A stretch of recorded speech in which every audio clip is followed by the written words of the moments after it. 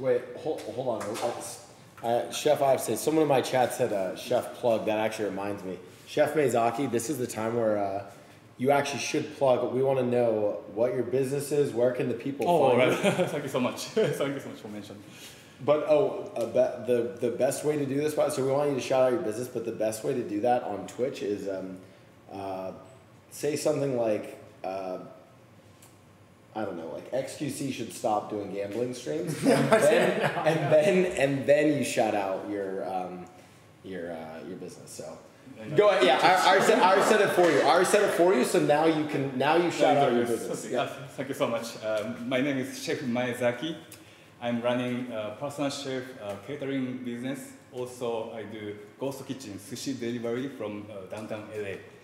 So if you are around downtown, please uh, stop by my store to pick up uh, good sushi.